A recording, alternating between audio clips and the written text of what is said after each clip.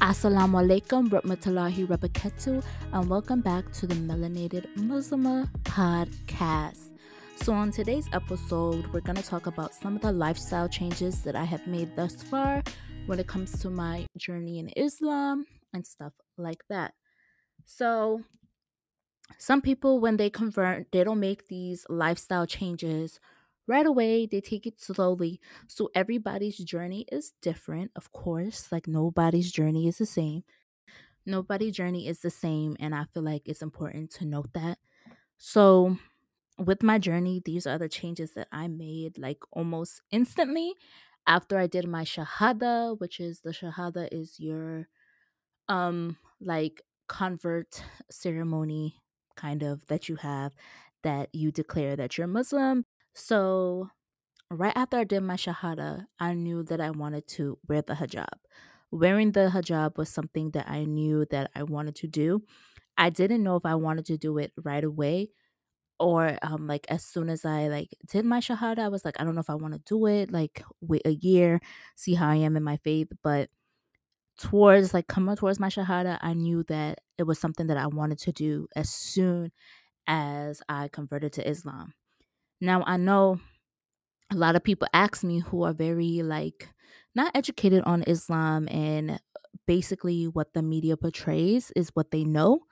So a lot of people ask me if the hijab is forced and why are you wearing that like a lot of people don't know and they, they're like asking questions that are stereotypical and you know they don't educate themselves so i have to tell them like no it's not forced it's something that we choose to wear. It is something that allah subhanahu wa ta'ala wants all women to do because it's mentioned in the quran in two separate in two verses that i have in verse 2431 and verse 3359 and basically Allah is saying that he wants women to cover themselves with a veil, which is like the um which is the hijab, cover their breast, because that's what the hijab is meant to do to cover your chest and your neck and so forth. So that's what he wanted the women to do.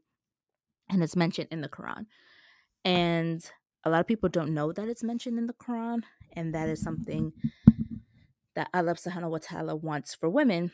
So a lot of people don't know that. So they see as force. But God, in my opinion, gives us all free will, right? Because it's recommended that we pray five times a day, but not everybody prays five times a day. Why? Because they have the choice on whether they want to or not. So it's just something like that is said and um, what Allah wants us to do in the Quran. And some women follow that and some women don't. So for me, I knew that I wanted to do it. As soon as I did my Shahada, and it's so funny, like some of the questions that I have been getting about me wearing the hijab. Like some people ask me if I do my hair, um, how is my hair routine? So I still do my hair. I still buy hair products and stuff like that. Like I even take more care of my hair now because it's covered, you know, most of the day. So you want to make sure it's moisturized and all that stuff. So I do do that. And of course, there has been some stereotypes because a lot of people have asked me if it's forced because what they see on the media and stuff like that. So I have to like I tell people like, no, I'm not forced to wear it. It's something that I wanted to do. So that has been a lifestyle change. And like since I started to wear the hijab, I didn't feel different. Like it just felt right for me to do. I like put on the hijab and it just felt right. I didn't be like, "Oh, this is weird. This is nothing." Like I looked up some tutorials on how to like basically tie it. My in the beginning, like the way I tied my hijab was so bad, but I was like literally just learning compared to how I tie it today. I'm not like still not the best. I'm still learning different styles. Um but it just felt right. It didn't feel like I was like an imposter to this. It just felt like something I should do. The next change that I made is only eating halal food. So before I would well, let me explain what halal food is. So halal food is food that you get from the halal market that has been killed and when they kill it it is facing towards Mecca and there's a prayer. And they kill the animal by slitting its throat and then and instantly like I don't want to go into gory details, but like the way that they kill it is like a certain way. The animal can't eat certain things um, another stuff that is um, with halal, there is we don't eat pork. Like it's very similar to like kosher, what the what people can eat who are Jews. It's very similar. So that's what halal. But before I did my shahada, before I did my shahada, I would go to the halal store and buy halal meats.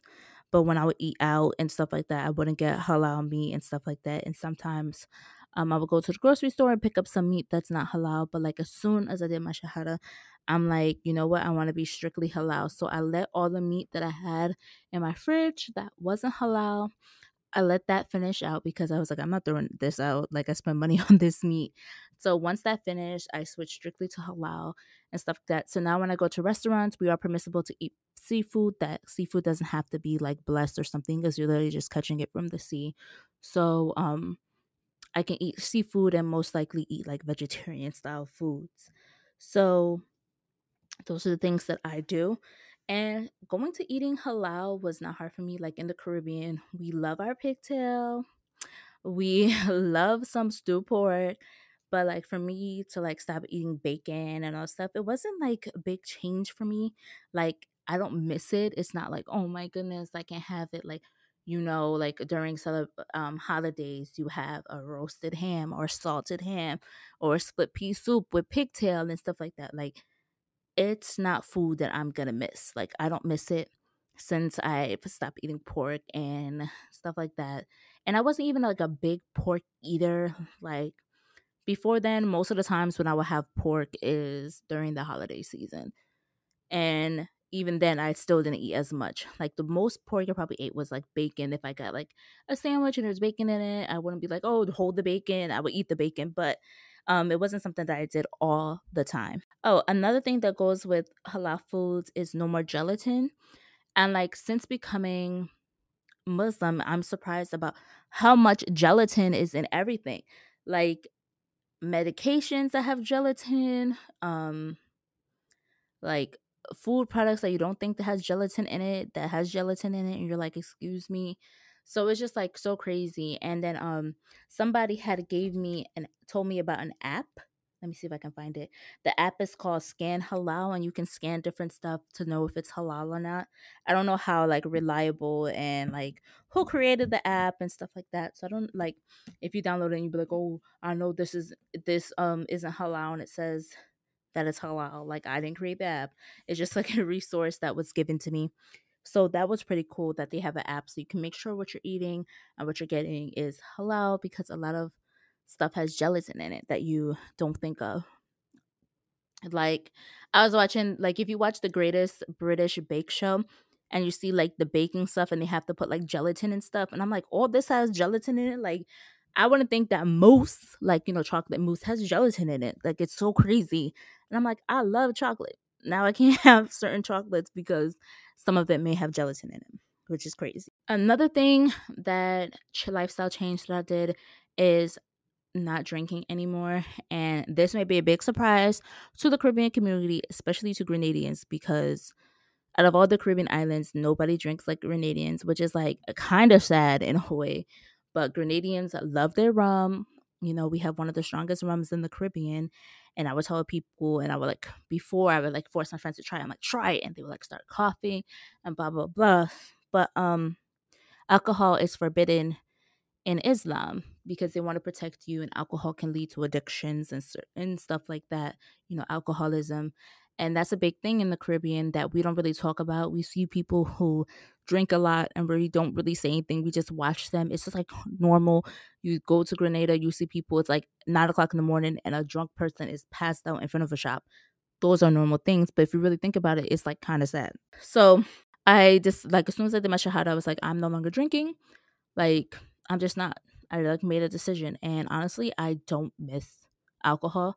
I thought I would, like, especially because I love like to drink wine when I come home and all that stuff. Mm-hmm. And I don't really miss it. And I wasn't, I wouldn't say like I would drink, but I wasn't like a big, big time drinker. Like, it wasn't that I had to have a drink every day or I went out every weekend drinking. You know, when I didn't have wine in the house, there was like goes weeks or months without me having wine until I get another bottle. So it wasn't something that I like did regularly for me to be like, oh my god, it's such a big change. But um, yeah, like I don't really drink. My mom is not a big drinker either. She most like she just collects liquor and has it around. And when somebody says they want to drink it, she tells them no. So it's just like she's just collecting them at this point. but um, I stopped drinking and I don't miss it. Um, you know, when I told people that I was no longer drinking, they're like, What? You're no longer drinking? I could never become Muslim.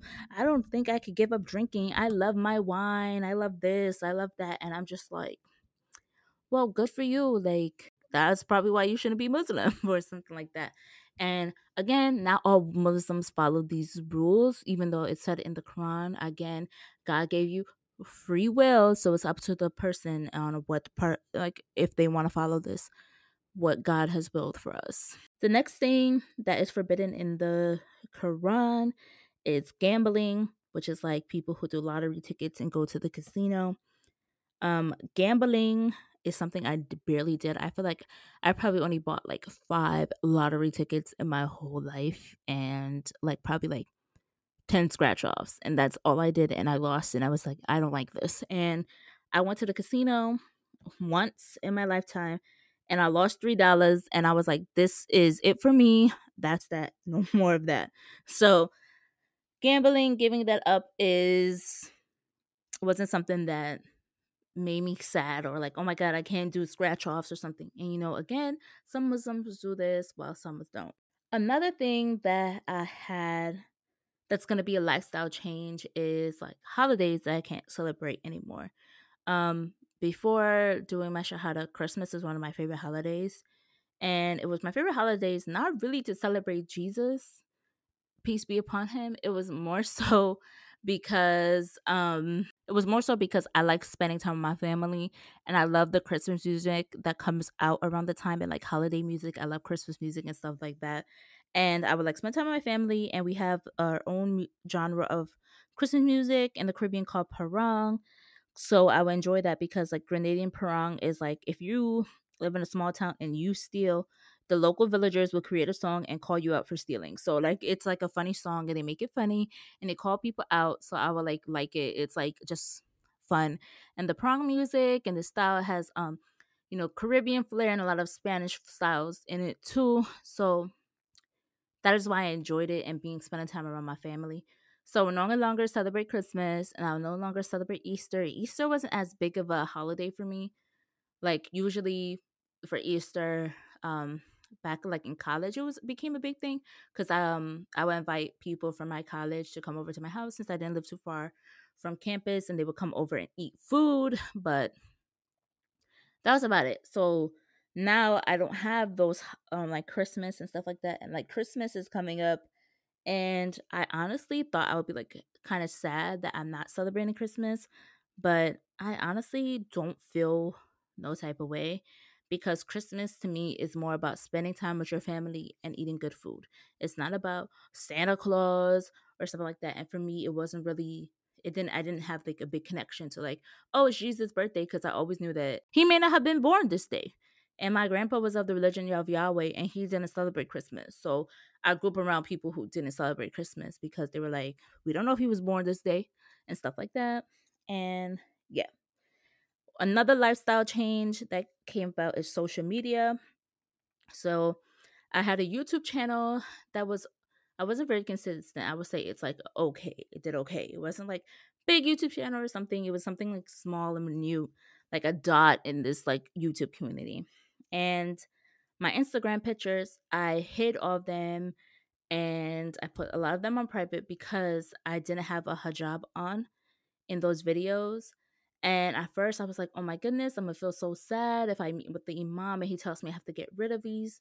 So I met with the Imam and he said, you know, I would recommend you get rid of them because now you wear a hijab and you don't want nobody to use it against you and blah, blah, blah.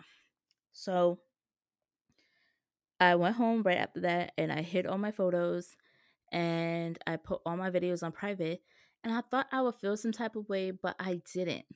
Like I was like, oh, this video did so well. It has this many views. Like I was thinking that at first, but I was like, I don't really feel bad because you know what? I could redo these videos and make them so much better than they were before and make them so much greater. And I have learned so much since then. I know how to create different things now. I've learned so much since my YouTube thing. So I basically get to redo my whole YouTube channel. And a lot of people don't have the opportunity to do that. And I do. So I looked at as opportunity to make the some of the same videos, but make them with better content and come with more information and before I had a video that talked about African ethnic groups that can be found in the Caribbean. I had it as in two parts, but I just released it as in um one part and I added even some more ethnic groups to there. So that was really cool and I made it much better in my opinion than the first one. So I'm so happy that that's out there and I can't wait to redo some of the other ones. But, you know, it's going to take some time because I'm a busy woman. Another thing that change is I pray five times a day. Now, for me, praying was something that I didn't do often before. Like, I would find myself to remember to pray. I was more of a person who, like, at night, I would write like stuff down or just like write prayers. I'd be like, Dear God, and I would do that. I'm more of like a written person than I am spoken. Like, if I was to do this podcast and I was to write it out, it'll be way better than me speaking it. So like if I was to do this episode and write out one of what I wanted to say and come to you guys, it would be way better than just me freestyling it like how I'm doing now. So praying five times a day, you know, it is prayers already like telling you what to say and what to do, but this time like the prayers they're in Arabic. So like Quranic Arabic, so I had to learn how to say them again. And there's different movements they have to do. You have to know when to put your hands up, when to put your hands on your like have your hands folded on your chest. Then you bend down and put your hands on your knees. Then you come back up and you have your hands on your side. Then you raise your hands again. Then you go down to the ground. You put your forehead on the ground. Then you sit up and then you say something. Then you put your forehead back on the ground. And then you go up and do the same thing. So it's like a lot of stuff. And each step has a different phrase that you say in Arabic. And I'm doing that five times a day. So that has been like a shift. And it's something that like I haven't gotten used to it yet. I feel like I feel more like sluggish on doing them. It's like the the early morning one, which is Fajr. It's like at five or six o'clock in the morning, and you're like so tired, and you're hearing your thing go off, and you like have to get up to do your prayer, and you have to do that, and um, there's this whole process called wudu. We have to watch certain parts of your body. I will get into more of that. Um, probably in the next episode, what you have to do. So, doing your prayers five times a day has been a big change and like you incorporate prayer into everything that you do because literally I'm at work and it's I get a notification that it's prayer time. So at work, um, alhamdulillah, I'm so thankful that I have a job that allows me to use have prayer time. So I'm like get the notification, go to the bathroom if I need to, do wudu, and pray. So like nothing of the day is bothering me because I'm literally stopping the moment going to pray, talk to Allah subhanahu wa ta'ala, and you know, you do you can do your structured prayers, but you also talk to God as well. And you could do that. So I feel like, you know, I'm getting better at praying and knowing what to like say and things like that when it comes to prayer and stuff. Something that I didn't have before. I don't know if that makes sense because I barely prayed before, but now I have the opportunity to pray five times a day. And I find myself sometimes looking forward to the prayers, alhamdulillah. And um I'm like, oh yeah, it's prayer time. Yeah, let me go run and pray. And it like made me so happy. And there's a few times during prayer time where I started to cry because of like the connection that I have. SubhanAllah it's like such a beautiful thing. And I like if you would have told me that, oh Brittany, you're gonna be Muslim and you're gonna pray five times a day like five years ago, I'd have been like, absolutely not. Like, I'm not doing that. And guess what? I'm doing it. So that has been nice. And most of all, importantly, what the last or like the biggest lifestyle change is my mindset. Like in Islam, there's a certain like humbleness, truthfulness, philosophy, like metaphor. Like I'm a metaphor person and I feel like a lot of Islam is like metaphors and like deep meaning. Like I love things that have deep meaning, deep connection, like related to your purpose, your relationship with God and all this stuff. And I feel like Islam is that. That's how I feel. And but that like after learning more about Islam and like how Muslims and how you're supposed to view the word, um, the world. Also, like how the Prophet Muhammad, wasallam, how he viewed things and the humbleness that came with it all and like how you look at things and even like rewatching the movie Bilal and seeing how he handled things and why he was an important person during this time where the Quran was revealed and him being one of the first people to call the call to prayer, aka the Adhan. So just like looking at that and the philosophy do you want to say and the preaching and like what they're saying and the meaning and how it like makes you rethink things and it's in a logical way. It like all makes sense. That has been one of the biggest things for me. Like I see Islam and everything. I'm like, oh, that relates to this. This relates to that.